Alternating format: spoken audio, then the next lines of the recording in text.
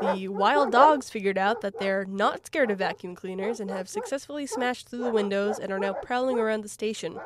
I think I'm safe inside the. Oh god. They're bombarding the booth door. Jesus Christ, I, I think it'll hold. Okay. Okay, I think I'm safe. As long as they don't make it into the control room, I should be able to stay on the air. I don't know if anyone listening is with animal control, but if you are, look up the address of whatever building this is because I can't remember and Google has been acting weird on my phone. Please, please help me.